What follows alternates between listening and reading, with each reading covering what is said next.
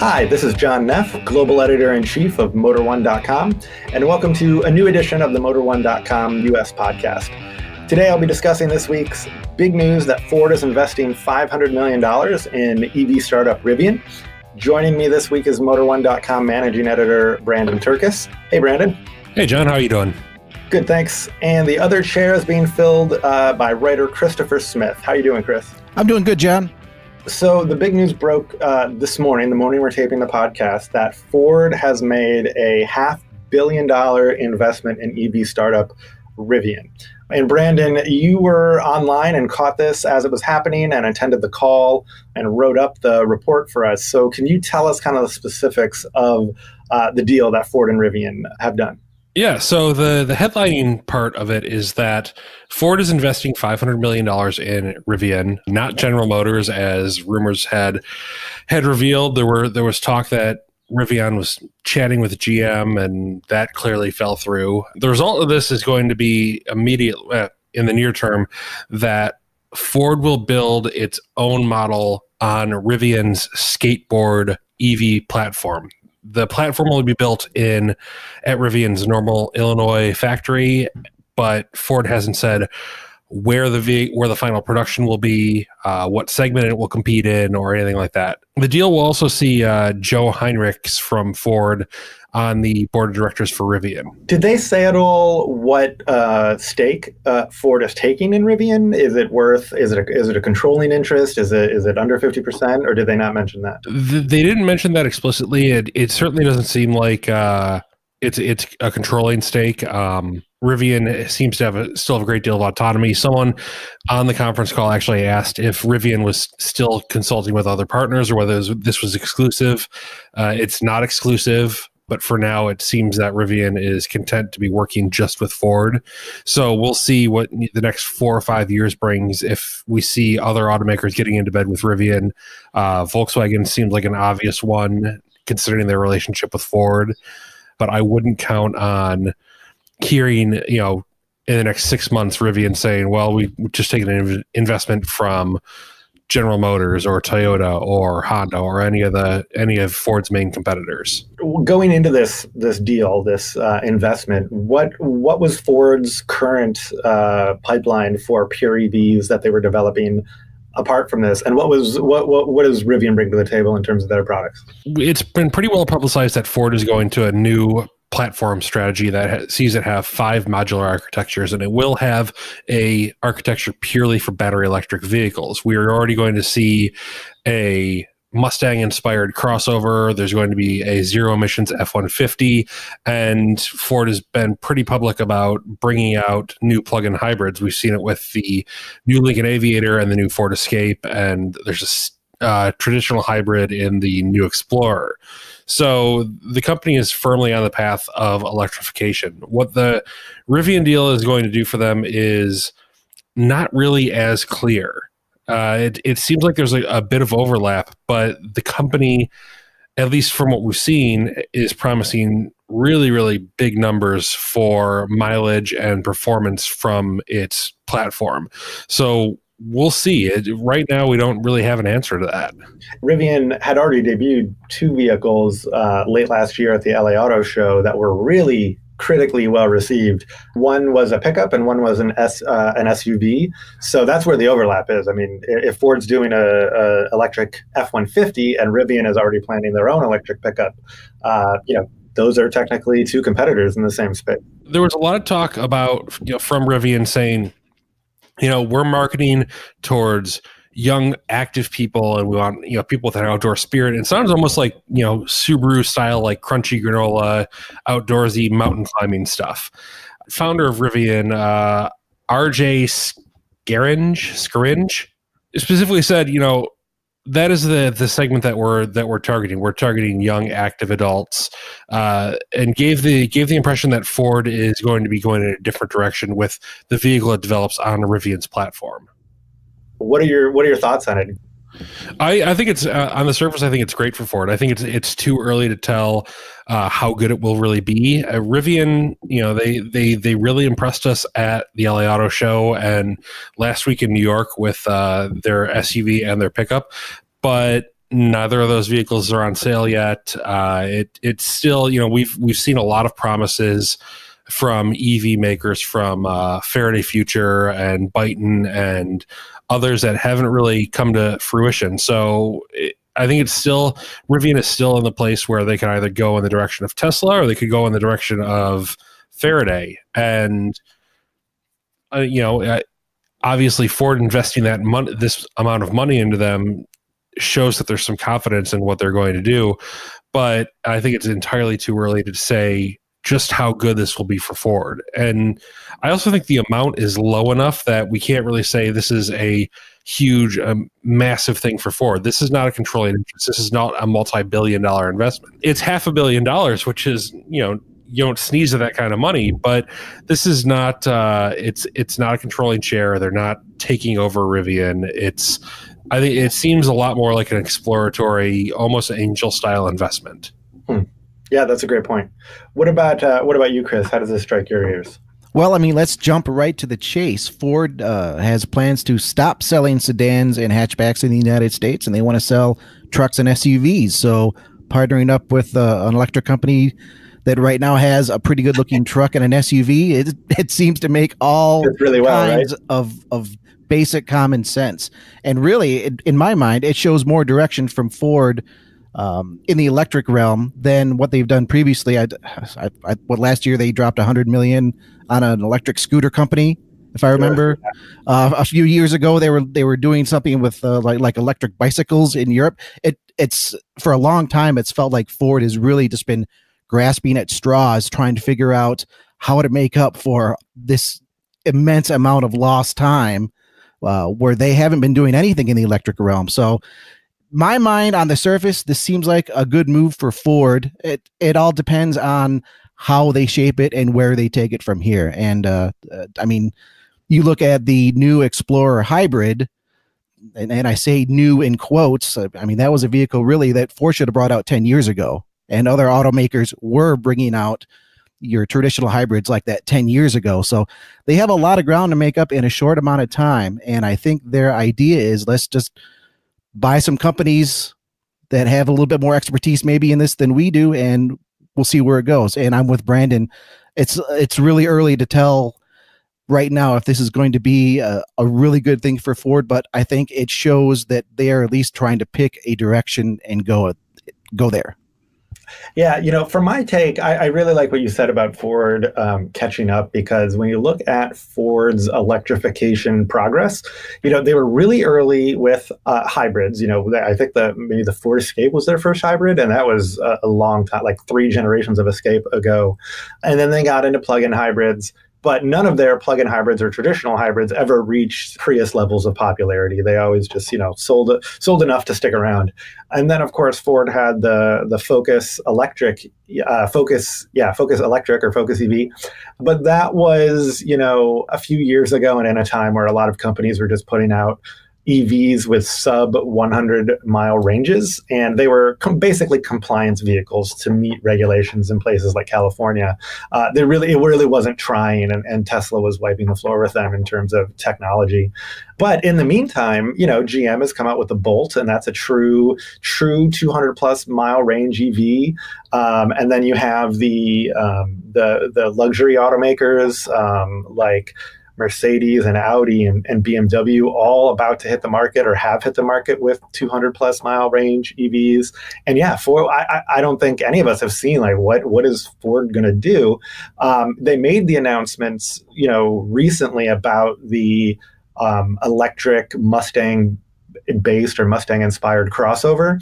And they have talked about the EV F 150, but really all we've seen or, or, or heard about are sketches of it um, or, or clay models. I mean, we're not seeing that prototypes running around. Like it's still kind of vaporware-ish, and it seems like they're trading on the excitement about it more than um, showing us the results. So, um, so yeah, I definitely see a need filled here for Ford in terms of catching up with its competitors because yeah, it it it wasn't um, on the same path, like the same hardcore electrification path. At the same time, I look at Rivian, and I was one of the believers uh, late last year around the LA Auto Show when they debuted their truck and SUV. They look great, and of course, you know they're promising really big ranges, like like 300 plus miles, uh, and prices competitive with Teslas. When I step back, they are still part of that group where, yeah, you can make waves by announcing what you hope to do, but until you can show a production ready uh, you know pre-production vehicle that actually does those things. That's one step. And then the second step is building them at scale which tesla will tell you is the hardest part. Um, you can you can create one great vehicle. You can build a pre-production prototype of an awesome vehicle but to build 5000 or 10000 of those a month is a completely different question. So maybe that's where this marriage makes sense. Maybe that's where rivian gets something um, the production expertise of, of Ford, and Ford gets these kind of great products and great um, engineering technical know how.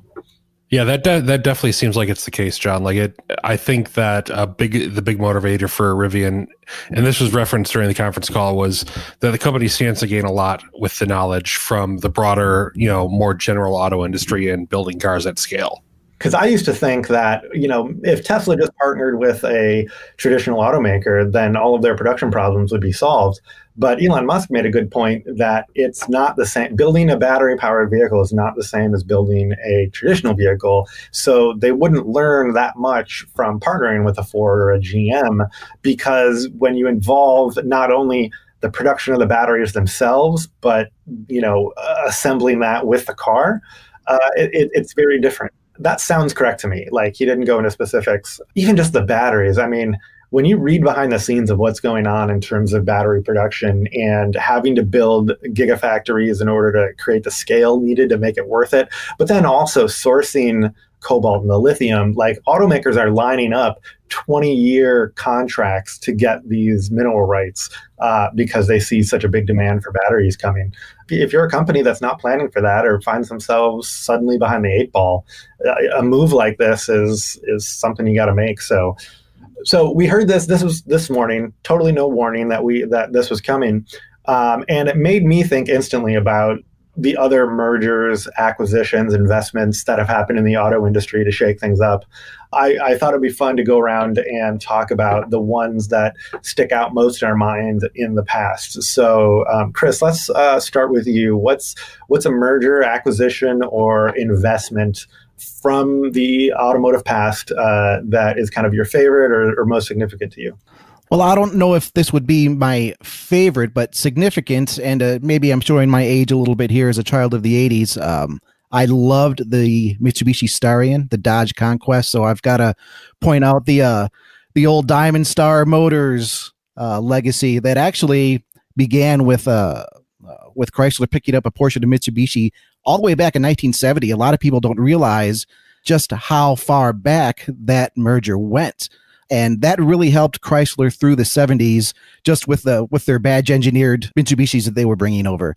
And uh and we all love the Dodge Challenger of today, but there was that infamous second generation Dodge Challenger there the late 70s early 80s that I owned one. I, you you seriously owned one in uh, in high school, yeah. We, we just we just became best friends, John. I'm a sucker for unloved cars like those. It was a rebadged Mitsubishi Galant but you know what? It was kind of a cool car. And then through the 80s, you had the uh, the Dodge Conquest, the Mitsubishi Starion. Of course, everybody's familiar with Eagle Talon, the Mitsubishi Eclipse, the Mitsubishi 3000 GT, Man, the Dodge Stealth. High watermark, high watermark. Those are some iconic cars. So you guys got some funny high water marks. Well, I mean, just uh, go back to that era and those uh, that that uh, the Eclipse, and I mean that was those were great cars. Those were at the time. I'm, you know, and then even the even the Dodge Stealth and Mitsubishi uh, 3000. Those were those were great cars too, man. I, I maybe I look at them with rose-colored glasses, but yeah, we, we both do. Come up online when they come up online and I see a mint one. I'm like, oh, I'd love to have that sitting in my garage.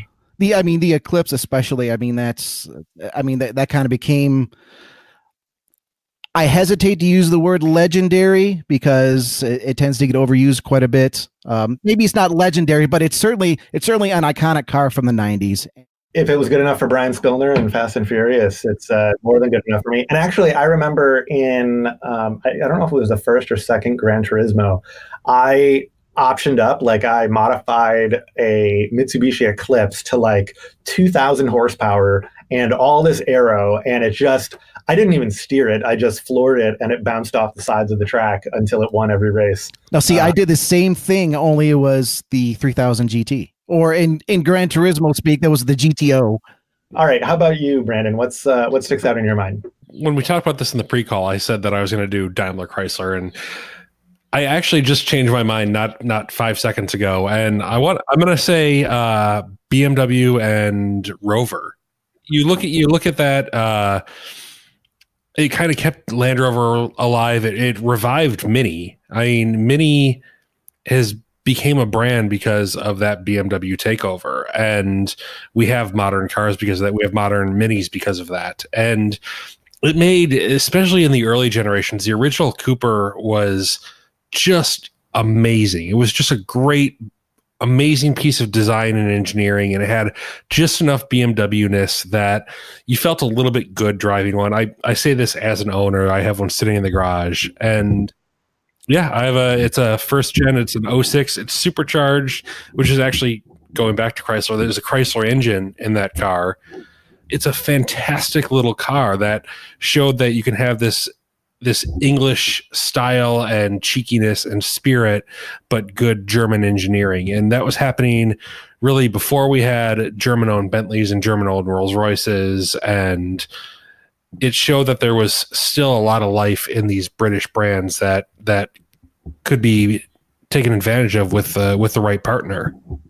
Yeah, and I think with Mini, I give Mini a lot of credit that it has um, survived, if not flourished, in a time when the popularity of small cars just goes up and down with the cost of gas. And right now, you know, the cost of gas is is low in the U.S. So, uh, but many people still have an affection for Mini. You know, uh, first time mini buyers become second and third time mini buyers, it seems. Uh, so they've definitely done, I would say, uh, way more right than wrong with that brand.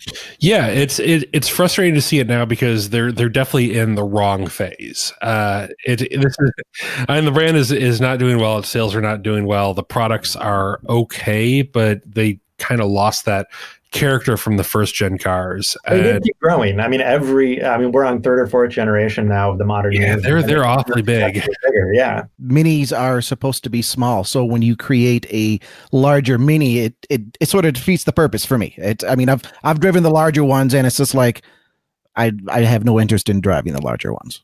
Yeah, I mean, we got we got to take larger, you know, consider it relatively. Uh, uh, mini or a mini clubman which is i think overall the biggest footprint is about the size of a golf. So these are not huge cars. I think i think the clubman is longer like has a bigger footprint but the golf or the countryman is taller. But yeah the the brand is just in, in an awkward place and i i don't know what uh, what the solution to that is but i i'm glad that you know bmw stepped in and elevated them uh, to the level that they were at for for a long time. Well, and it's still going. I mean, uh, you know, not all of these mergers uh, and investments and partnerships we talk about are still in effect today. Um, so when you find one that has stood the test of time a little bit, that's impressive. And I do need to say, Brandon, I mean, astute observation on the BMW Rover thing. Um, there's so much British history that people outside that area don't really know much about and that merger kind of helped keep that alive. Even even for the Land Rover brand, there was a if if I recall correctly, there was a time that Range Rovers were carrying BMW engines, and I I think that was before they were PAG, but I'm my timeline around then is a little bit fuzzy. But you know the BMW did a big service for for the British auto industry, keeping those two brands going. All right. Well, I have a pick as well. I'm going to go uh, back to Chrysler. It's easy to pick Chrysler for all of these since it is one company that has either bought or been bought by almost every other company. Uh, But I'm going to pick from their history uh, their purchase of Lamborghini back in 1987, um, kind of for its weirdness and kind of for what both brands got out of it. Lamborghini got money, which, you know, obviously every kind of boutique automaker needs to survive. Uh, not that Lamborghini was at the time floundering. Uh, it, it was it was kind of at the tail end of the Countach era. Uh, but that was really its its main car. It had the LM uh, 002, but that didn't that wasn't like a volume car. And I believe one other car, I forget which one. Uh, what it got from Chrysler, though, was money to develop the Countach successor, which was the Diablo. And I'm a huge uh, Diablo fan. That was like right smack in the era I was growing up, and and I I was Diablo over F40 at the time. I've I've kind of changed my tune in the later years. I recognize the F40 for the great car it was, but I loved the Diablo back then, and the fact that it could go like three miles per hour uh, faster on a top speed than the F40 was uh, a big. Um, uh, point of pride with me and the car I choose to align or chose to align myself with. So I think I think it really kind of just propelled Lamborghini to its next step. And fortunately, Lamborghini has kind of kept growing and, and under Audi's stewardship, it's doing really well but you know it definitely needed the the Chrysler ownership to take another step to get there. And if all that we got out of it was the Diablo, I'd be happy with that. Um, Chrysler though got a, a, good amount as well. One thing that that immediately happened was they debuted this concept car called the Portofino, and it was a super weird like uh, design. It, it, it it looked like a four door Dodge Stealth, and the Dodge Stealth wasn't out yet but it was like a four door Dodge Stealth. All four doors were Lamborghini scissor doors, uh, but like opening up in a suicide fashion. And the engine was mid mounted, so it was behind the seats of a four door. I would put the styling of it as it's got like a Dodge Stealth front end, but this was the first example of cab forward design that really became a marketing catchphrase for Chrysler going forward. And, you know, we get the Dodge Intrepid from that, and the Chrysler 300, and a whole bunch of cars uh, that adopted that. And then, of course, we got the Dodge Stealth itself, which I think, like I said, uh, I look fondly back on that car. I don't know I, really how it came to an end. I know sales uh, started to kind of plummet after the the initial success of the Diablo. Chrysler kind of instead of Lamborghini making money, it started siphoning money away from Chrysler, um, who I'm sure couldn't afford it at the time, and Chrysler decided to dump it pretty quick, and, and that that era ended. But yeah, not before they both affected each other, and I think you know two brands with great histories kind of just you know uh, meeting for a little bit and then parting again definitely one of my one of my favorite investments slash mergers slash acquisitions of all time i remember that concept car john and uh and to add to that um, I also have a very clear memory. I, I was still pretty young at this point. I have a very clear memory of a Chrysler commercial, and this must have been around 19, 90 or so because it was they were boasting their their performance pedigree. And uh and i remember seeing there was the dodge spirit rt in there. If, if you remember that uh, that crazy car. And they capped off the commercial with the uh, with the lamborghini countach. I i, I can't remember. It, it might have been earlier than 89 90 it, it, it all kind of fades together back then. But i have very clear memories of that commercial. And I mean, it's the fact that it stuck with me all these years is, I think, a testament to that partnership at that time. Like you just said, um, a, a, couple companies meeting in the night for just a little bit, and you know what? They did some good stuff. The, the Viper was being developed at the same time as a concept car, and to think that the same company uh, at the same time was developing the Diablo and the Viper is really cool. And um, I've, I've read that the Viper designer uh, got to give some input uh, to Lamborghini and some design decisions. I'd probably say Lamborghini is doing better right now than uh, the Chrysler, at least the Chrysler brand. Chrysler as a whole is doing really well, but that's more because of Jeep than anything else. Yeah, the Chrysler brand is kind of a, a shell of, of what it once was it's like I said, it's basically Jeep. They just still call it Chrysler in public. We'd love to hear from everybody what uh, what you think about not only the the Ford investing in Rivian, uh, but our choices for the coolest or most significant investments, mergers, acquisitions. You can find us on Facebook and Twitter at Motor1Com. where this discussion will continue. And of course, it's on our website, motor1.com, where you can uh, find all three of us and the rest of the editors and writers in the comments. Uh, so, coming up, we'll find out what we've all been driving this week. Uh, before the break, though, a reminder that if you're listening to this online, you can also get our show on iTunes, uh, Apple Podcasts, Google Podcasts, and Spotify. Uh, so, why not hit the subscribe button now so you don't miss our show next week? During this part of the show, we talk about what cars we're driving this week. And today we're going to start with Brandon. Uh, Brandon, what are you driving this week? So I've spent the last week with the Subaru Crosstrek plug-in hybrid. And this is this is the new model. This is not the old Crosstrek with the the standard hybrid engine. This is a plug-in model. It'll do 17 miles to a charge and it recharges from a wall outlet in about 5 hours, which is really good for the amount of mileage that you get. It's uh it's a usable amount of time. So if you're the type of person that even if you have a longer commute to work, if you have a way of charging up while you're there, you can conceivably cut gas out of the equation for the most part. I've really enjoyed my time with this car. I I'm in a bit of a unique situation that I work from home and I rarely have to travel very far, so it's been very easy to, for me to keep it keep it charged up and take advantage of the the electric range. I'm averaging about 45 miles to the gallon right now. The combined city figure is around 35, I think. So uh, it's doing really, really well at, at uh, on fuel. It's it's very comfortable to drive, just like the standard Crosstrek. Now, correct me if I'm wrong, but I believe the powertrain for the Subaru Crosstrek plug-in hybrid comes from the Toyota uh, Prius Prime, the plug-in hybrid version of the Prius. Um, it's a it's a product of their uh, partnership on on some hybrid stuff. Yeah, uh, the, there are there are bits and pieces that are shared between them. It's it's not a straight one for one thing, uh, as Clint Simone covered in Motor1's first drive of the of the Crosstrek plug-in. There's there's some parts commonality, but not quite as much as you might think it's still it's still got a lot of Subaru character to it. It's uh it drives like a Subaru. It does not remind me of a Toyota at all. I will say I, I like the idea of a plug-in hybrid that is uh, skews a little bit more on the side of like adventure traveling uh, than most other plug-in hybrids that are like you know either urban vehicles or they're just not not like adventure vehicles, not like rough and tumble kind of stuff. The the Crosstrek does have you know a raised um, ground clearance. It can go off road a little bit, so that's cool. And it's all wheel drive. Not a lot of plug-in hybrids are, are all wheel drive. Right, and it's it's always all wheel drive. It's not. Uh, you know, there's not a differential suddenly switching around and saying, "Ta-da! I'm I'm no longer front wheel drive. I'm all wheel drive." It's it's always there, all wheel drive. It does have that kind of off road ability. There's an X mode, I believe it's called, for going off on the trails, and I didn't really use that. It it's nice to have that ability. I don't think most consumers are going to use it as much as Subaru wants to market and say that that people will use it.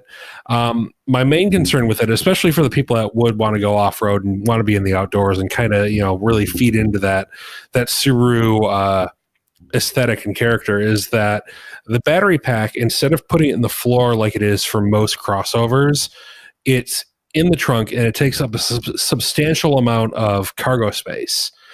You're not going to put uh, you know a golden retriever in the back of this car. he, he will not be very happy with you.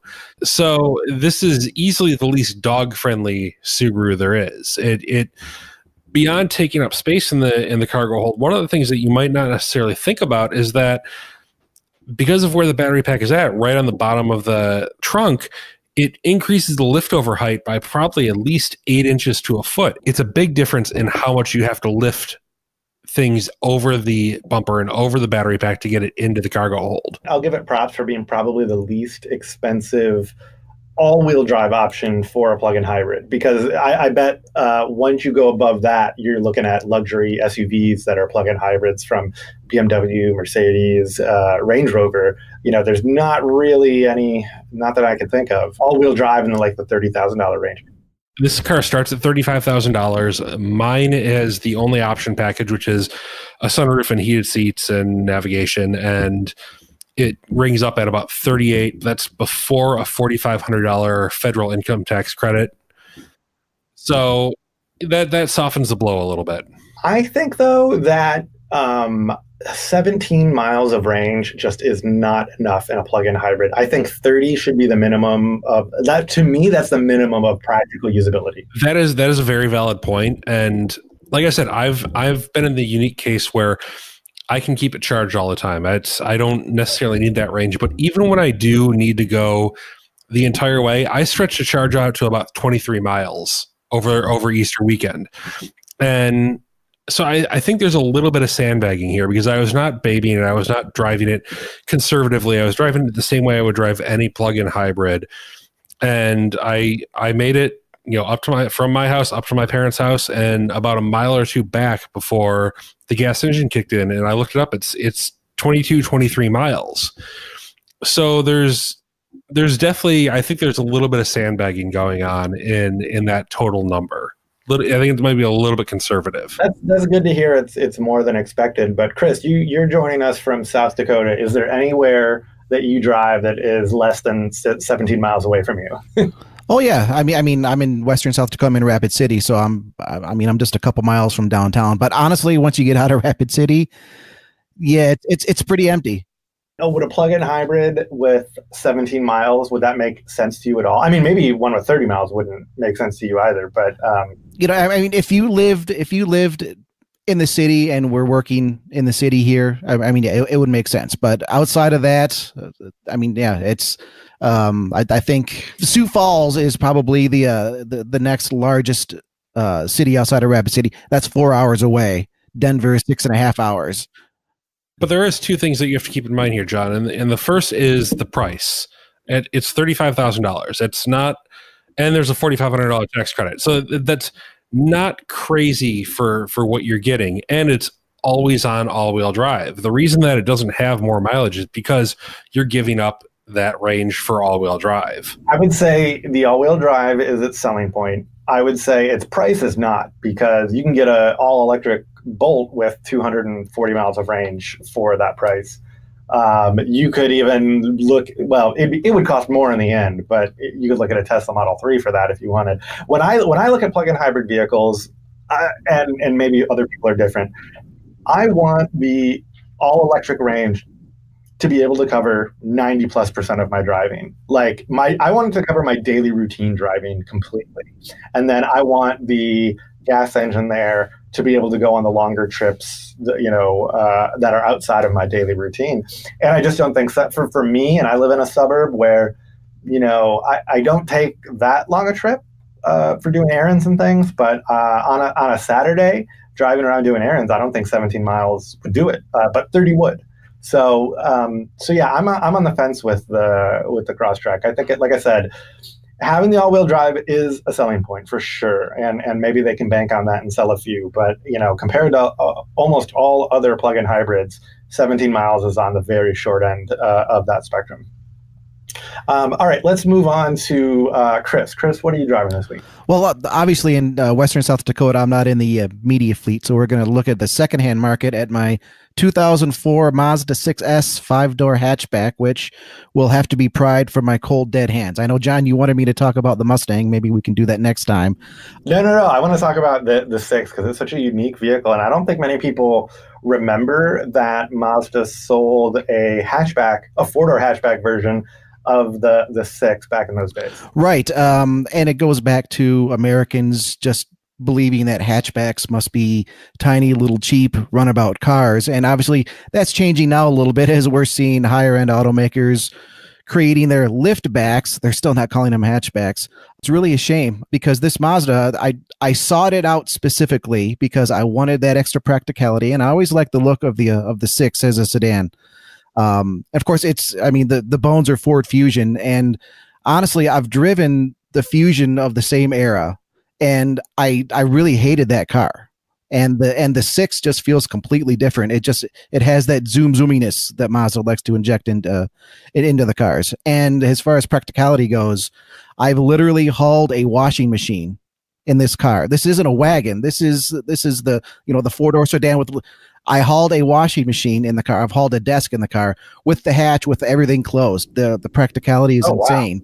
I Uh, thought you meant with the, with the hatch open. no, no, the the hatch was completely closed. Everything is completely closed inside. Um, Wow. the the space, the the What's the engine in it? um, it's it's the the three liter, twenty four valve V six. Um, I believe it was rated at two hundred and twenty horse back in the day, somewhere around there. But uh, then Mazda kind of rounded that number down a little bit in later years. Um, I mean, it's it's it's it's enough to be entertaining. I'm not going to go winning any stoplight uh, stoplight battles. But uh, I mean, it has plenty of power to be entertaining. the The handling continues to surprise me and uh, I think it looks great. It's it's kind of an unsung car. I, I try to recommend that car as much as I can, just because if you want something that actually looks good, that's fun to drive, that has some legitimate cargo capacity, it's it's there are very few cars out there that uh, that can match up to that. And, and, and you're not going to see a million, million of them out there. No, you really don't.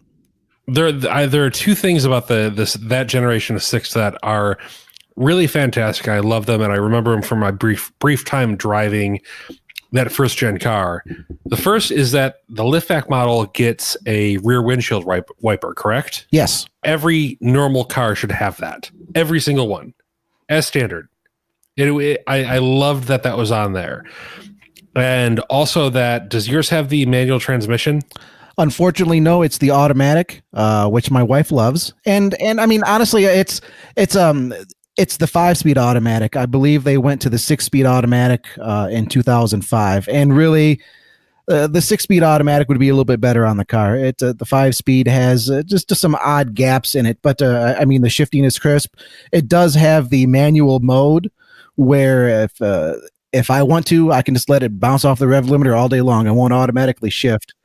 Um, not that I do that on on purpose, but uh, every now and again, if I want to get a good launch in first gear, it uh, first gear just goes way too quickly, and uh, and it'll and it'll bounce off the limiter. Um, a friend of mine had a five speed, and uh, it's uh, I, I mean it's it's a fun car to, to roll the gears on. Um, the engine, that V6, even though it's the three liter V6, it's it's kind of down on torque. So with the automatic, um, I almost liken it to uh, a, turbo car with a little bit of turbo lag right off the beginning. Uh, it's it could be a little unnerving at first, but then once it gets up on cam, it just kind of takes off. Very nice. Well, I, I always leave it to you to find cars that other people have forgotten about or um, you know trims that that that time has forgot. So uh, great choice, and I'm glad it's in your garage. As for me, I've driven two cars this week, and it seems like this is our week of electrification because both of both of the cars I've driven uh, are electric to some degree. So for most of the week, I was driving a, uh Range Rover Sport plug-in hybrid. I've driven the regular Range Rover, a diesel version, and I really love this generation of the Range Rovers. Uh, I had some trouble with this uh, with this plug-in hybrid version of the Range Rover Sport. Uh, particularly, I couldn't get it to charge at my house. Uh, I was just charging it through, trying to charge it through a regular 110 outlet, and it was tripping my uh, GFCI plug, and and yeah, I just couldn't get it to charge. So I pretty much had to treat it like a normal hybrid. Um, and to be honest, without that, uh, the the 30 miles of range it provides for EV, uh, I, I didn't really like driving it in um, regular traditional hybrid mode the whole time. I mean, if it, if I were if I were going to be driving it like that, I'd rather have the diesel or one of the gas engines.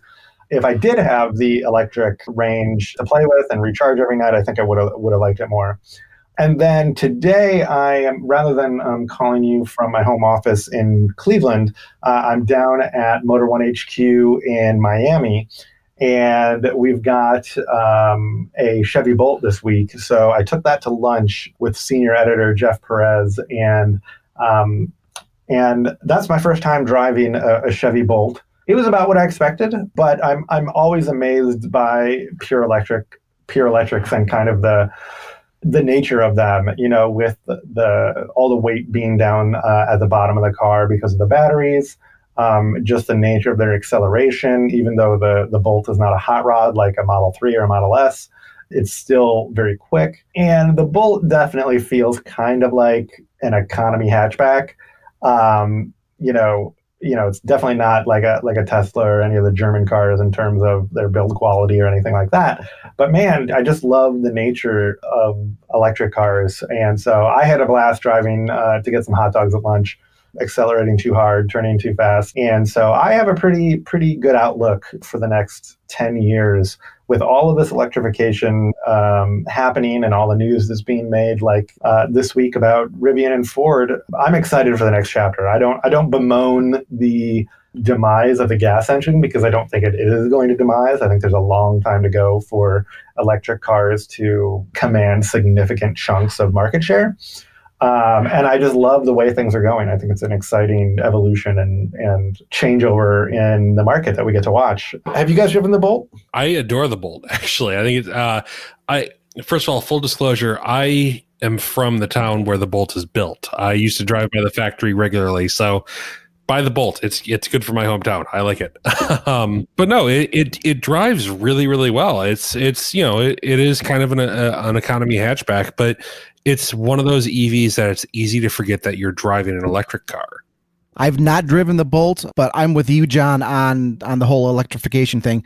Back in the late 1800s, early 1900s, when the automobile was first coming about, you know, you absolutely know there was somebody saying that horses were far superior, that these new fangled mechanical horses just didn't have the same feel they didn't have the same passion and and it's it's called progress. And i love a roaring gas engine as much as anybody but i also love the immediacy of an electric motor. And once you have a proper ride in a high performance electric car and you just feel that in, that initial kick it's it's something that you never forget so I'm I'm very much looking forward to the future of electric electrification. So that reminds me, uh, and this is going to be a tangent, uh, a very typical John Neff tangent of the. It reminds me of the movie Seabiscuit, where the the lead character, the guy who buys Seabiscuit, originally was into horses. Then he uh, saw cars, and he you know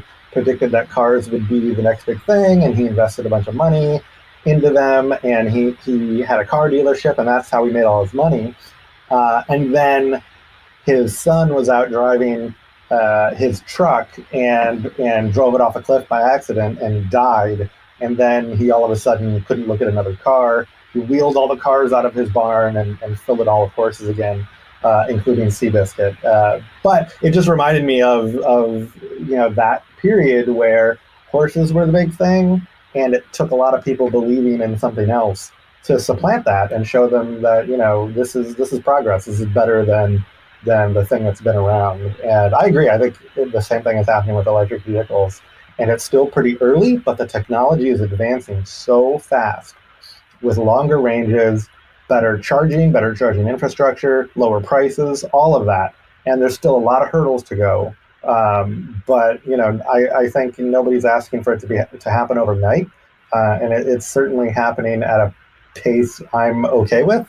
Um, you know, and like I said, I don't think gas gas engines or gas powered vehicles are going anywhere anytime soon, and even they're advancing as well. I mean, just the you know average fuel economy of, of France. And, and in fact, horses now, and I think it was a um, I think it was James May. They did something a while ago, or, or maybe it was was it, it Leno? Was Leno? It was Leno on Top Gear. That oh, that's was, right. Was that's in right. a star in a reasonably priced car segment. Yes, yes, where he said, you know what, uh, the the way things are going now, it could free up the uh, the gas engine to be more of a pleasure vehicle, while we have electric or autonomous vehicles that we use for the daily grind. And uh, there's always there's always going to be passion in automobiles as long as there are things rolling on four wheels.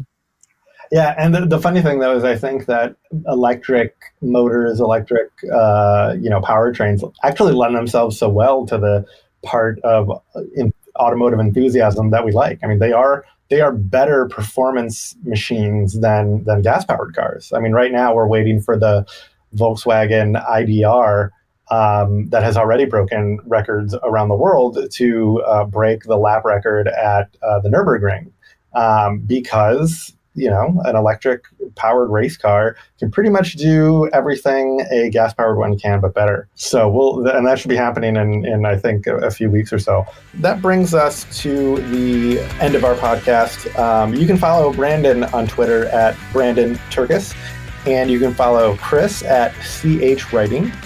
And you can follow me on Twitter at John underscore M underscore Neff. I want to thank you two for being here with me on the podcast this week. Always a pleasure. It was a good time as usual. And then uh, thank all of you out there for listening, and we'll see you next week.